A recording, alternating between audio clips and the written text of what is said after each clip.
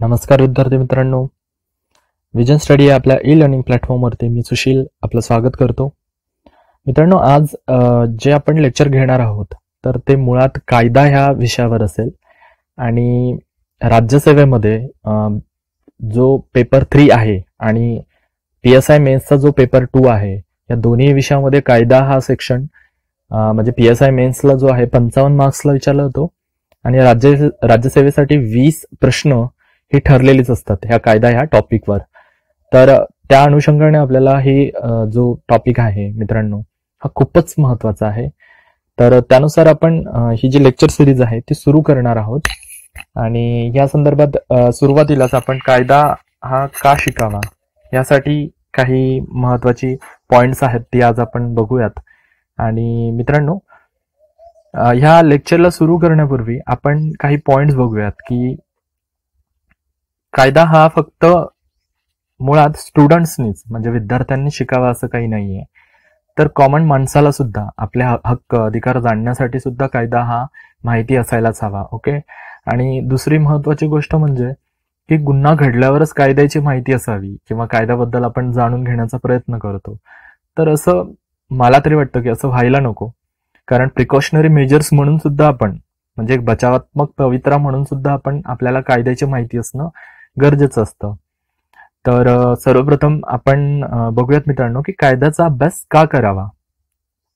तर सगळ्यात पहिला जो पॉइंट आहे की आपले अधिकार जाणण्यासाठी हो आपले अधिकार जाणण्यासाठी कायद्याचा अभ्यास असणं खूप गरजेचं आहे मित्रांनो.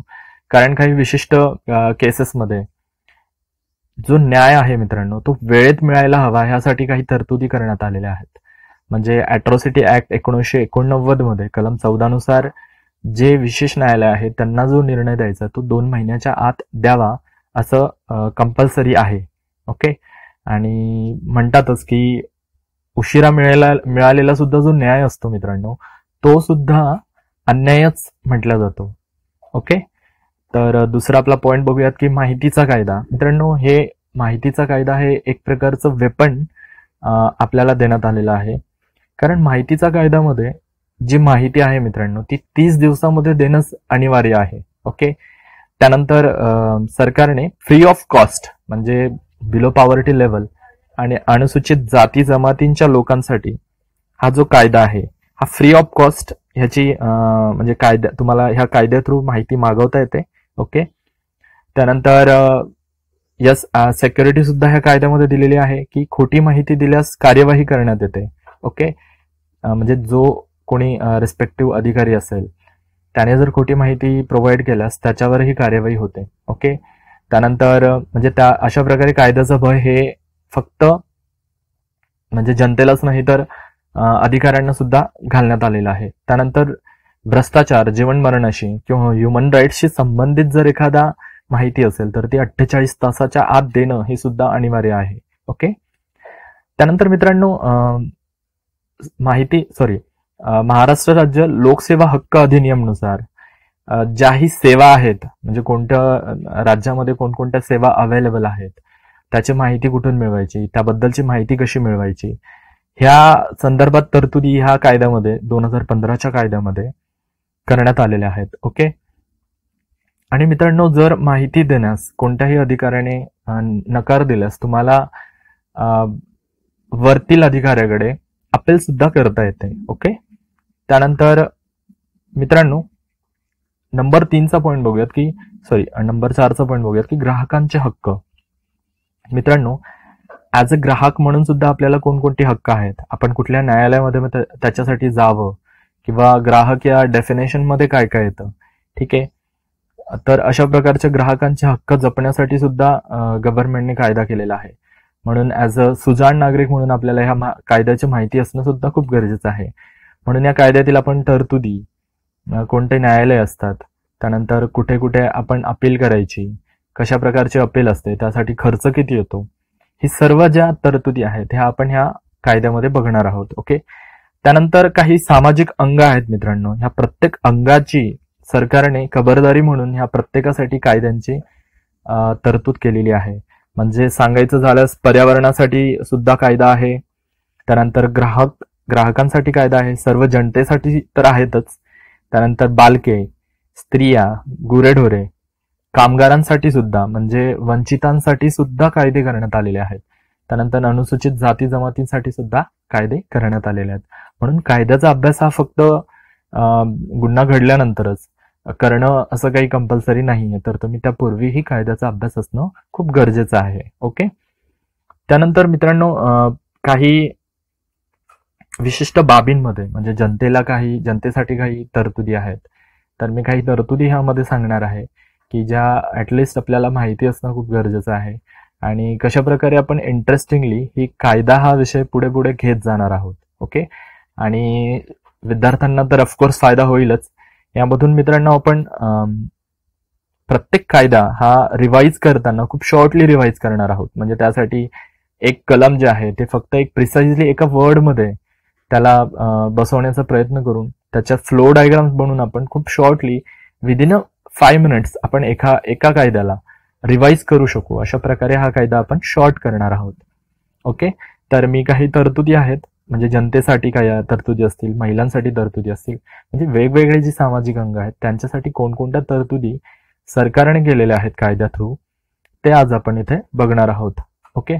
तर सर्व जनतेलाही हक्क. म्हणजे मी ह्यामध्ये सांगितलं की सर्व जनतेलाही काय जनतेसाठीही आता जवळपास कायदे जे आहेत ते सर्व जनतेसाठीच आहेत.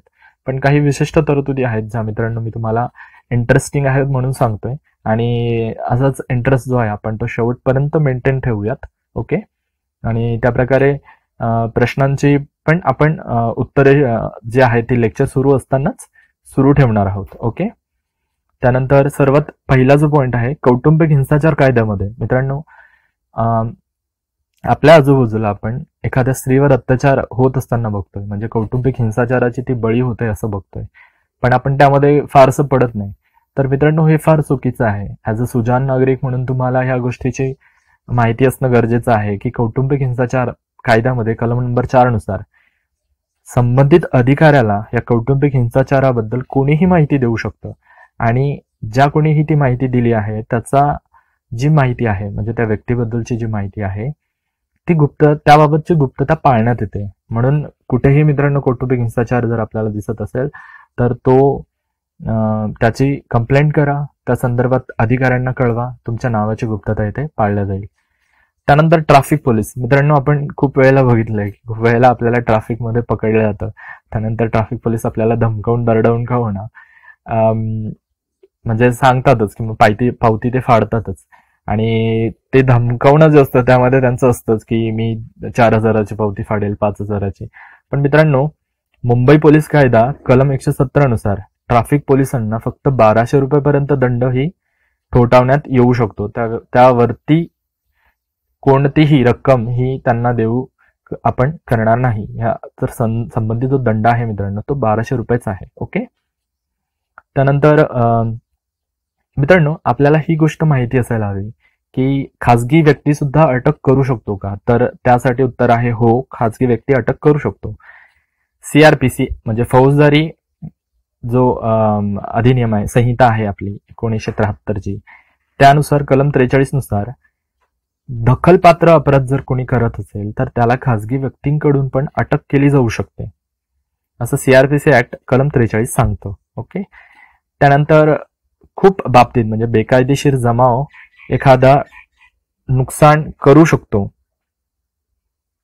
बेकायदेशीर जमाव एखादं नुकसान करू करतोय करू शकतो. तर अशा नुकसानाची भरपाई सुद्धा आपण गव्हर्नमेंटकडे मागू शकतो. तर त्यासाठीचं जे कलम आहे ते मुंबई पोलीस कलम एक्कावन्ननुसार आहे ओके? आणि त्यानंतरचं जे कलम आहे मित्रांनो डीजे बंदी. आपण बघतोच आहोत की सध्या कोल्हापूर एरियामध्ये सातारा एरियामध्ये जी डीजे बंदी गव्हर्नमेंटने लागू केलेली आहे. त्यासाठी मुंबई पोलीस कलम अडोतीसनुसार ती लागू करण्यात आलेली आहे.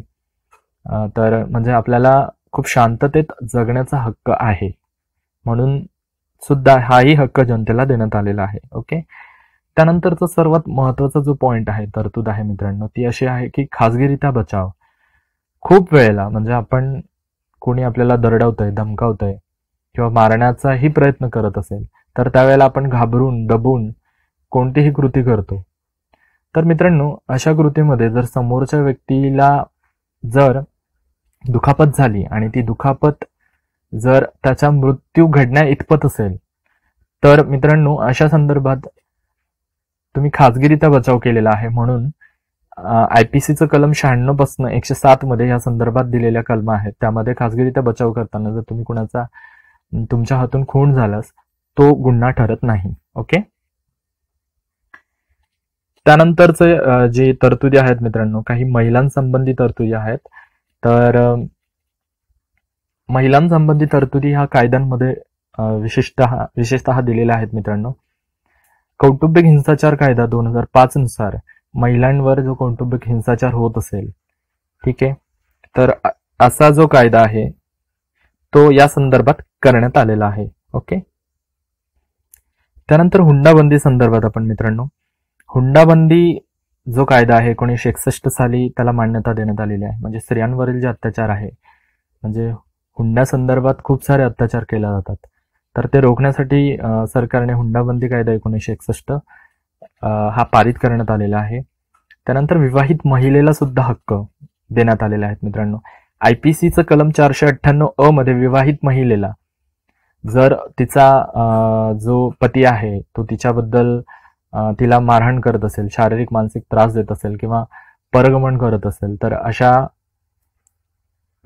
अशा व्यक्तीस चारशे अठ्ठ्याण्णव अ आय पी सी चारशे अठ्ठ्याण्णव अ अन्वये अटक कर करता येऊ शकते.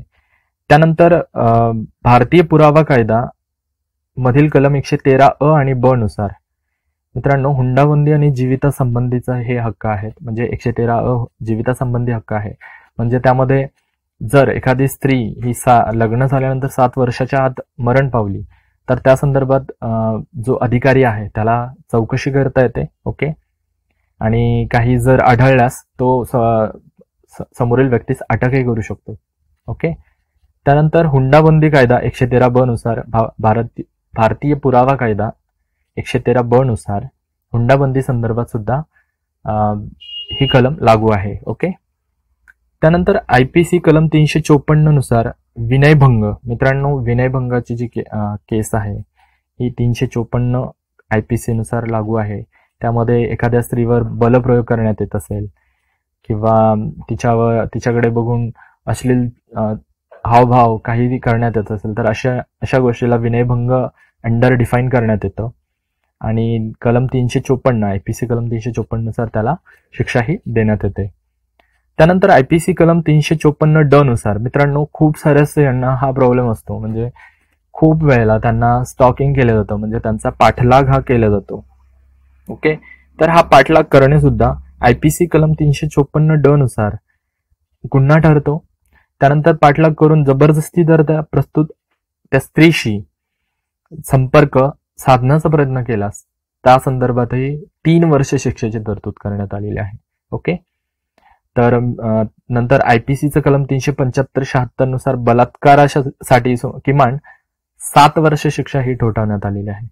तर अशा प्रकारच्या खूप साऱ्या तरतुदी ह्या कायद्यामध्ये महिलांसंबंधी करण्यात आलेल्या आहेत मित्रांनो.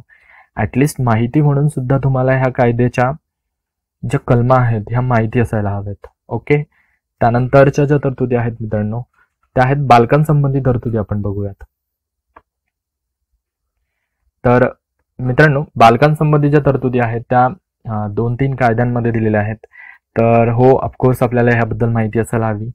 आय पी सी ऍक्टनुसार आता मी कलम देणार नाहीये पण आय पी सी नुसार सात वर्ष आतील मुलाने जो केलेला अपराध असतो मित्रांनो तो गुन्हा ठरत नाही.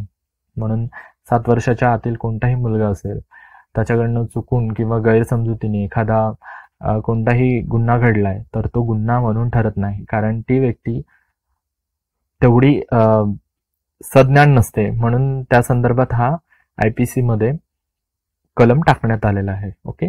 त्यानंतर कलम त्यानंतर सात ते बारा वर्षांमधील जर वेडसर मुलाने म्हणजे बालकाने सात ते बारा वर्षे एज असलेल्या वेडसर मुलाने जर अपराध केला तर तो गुन्हा ठरत नाही.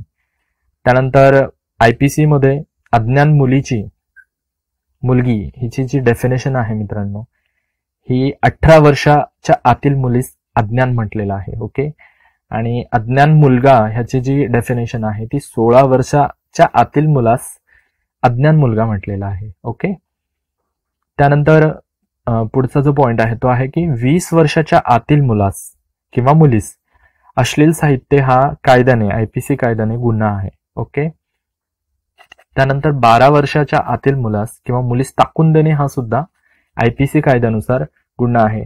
मित्रांनो ह्या ज्या कलमा आहेत ऍटलिस्ट तुम्हाला माहिती याच्यासाठी असायला हव्यात. कारण आजूबाजूला आपण खूप सारे अन्याय अत्याचार होत असताना बघतो. म्हणून ॲज अ सुजाण नागरिक म्हणून आपण त्या संदर्भात कंप्लेंट करायला हवी. किंवा ह्या गोष्टी माहिती असतील तर ऍटलिस्ट तुम्हाला तुम्ही प्रोसीड करू शकता की कुणाही थ्रू किंवा कसेही किंवा त्या अज्ञान व्यक्तीला सांगू शकता की यस तुमच्यावर जो कोणताही अन्याय होतोय तो कायद्याने गुन्हा आहे. तुम्ही कायद्याने पोलिसांकडे जाऊ शकता. म्हणून हे खूप महत्त्वाच्या कलमा आहेत ज्या ऍटलिस्ट तुम्हाला माहिती असणं खूप गरजेचं आहे. ओके? त्यानंतर बालकांसंबंधी ज्या तरतुदी आहेत मित्रांनो. त्या मुंबई पोलीस कायद्यानुसार आपण बघूयात की मुंबई पोलीस कायद्यानुसार चौदा वर्ष आतील मुलाकडून तारण घेणे हा गुन्हा आहे ओके?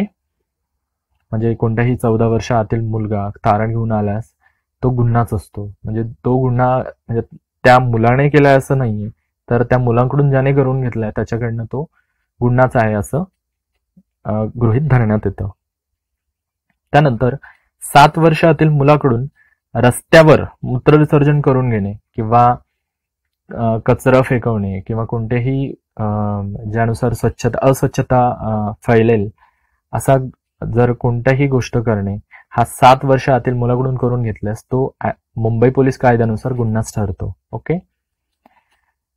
त्यानंतर मित्रांनो ह्या झाल्या मुलांसंबंधी तरतुदी. आपण पुढे वळूयात. प्राण्यांसंबंधी काही तरतुदी करण्यात आलेल्या आहेत.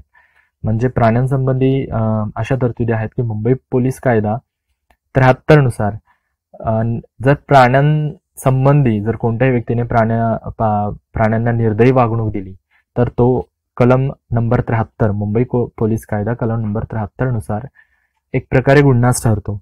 आणि त्याला शिक्षा ही मुंबई पोलीस कायदा कलम नंबर एकशे एकोणीसनुसार ठरवण्यात आली आहे. ओके?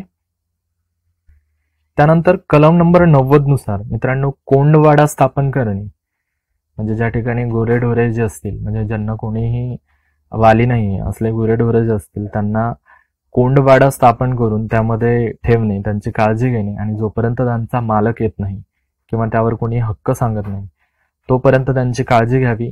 नंतर ती विक्रीस काढून विकावी आणि नंतर जे ही रक्कम असेल ती गव्हर्नमेंटच्या फंडमध्ये जमा होते. मित्रांनो हे जे प्राण्यांसंबंधी तरतुदी आहेत ह्यावरून एक गोष्ट स्पष्ट होते.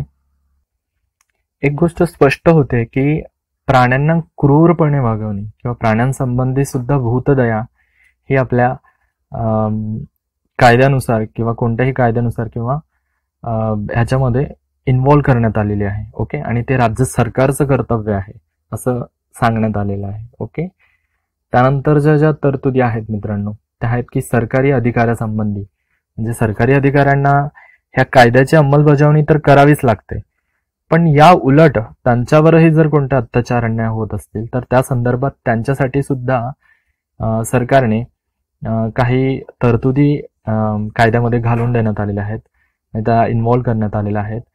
तर त्या तरतुदी आय पी सीचं कलम मी सांगतो आय पी सीचं कलम तीनशे त्रेपन्ननुसार सरकारी कामात अडथळा आणणे त्यासाठी दोन वर्ष सक्षम कारावास सांगण्यात आलेला आहे. त्यानंतर कलम नंबर पाचशे सहा नुसार आय पी सी कलम पाचशे सहा नुसार सरकारी कर्मचाऱ्यास धमकी देणे या संदर्भात सुद्धा दोन वर्ष सक्षम कारावासी शिक्षा ठरवण्यात आली आहे. त्यानंतर कलम नंबर तीनशे बत्तीसनुसार आय पी सी कलम तीनशे बत्तीसनुसार सरकारी कर्मचाऱ्यास जर कोणी दुखापत पोहोचवली तर त्या व्यक्तीस तीन वर्षाचा सक्षम कारावास हा ठरवण्यात आलेला आहे. त्यानंतर कलम नंबर तीनशे तेहतीसनुसार सरकारी कर्मचाऱ्यास जबर दुखापत पोहोचवणे. या संदर्भात सुद्धा दहा वर्षे सक्षम कारावास हा ठरवण्यात आला आहे. तर मित्रांनो अशा प्रकारे सरकारी कर्मचारी पर्यावरण ग्राहक बालके स्त्रिया गुरेढोरे कामगार कायदे या सगळ्या संदर्भात गव्हर्नमेंटने काही ना काहीतरी कायदेही करून ठेवलेले आहेत. ओके?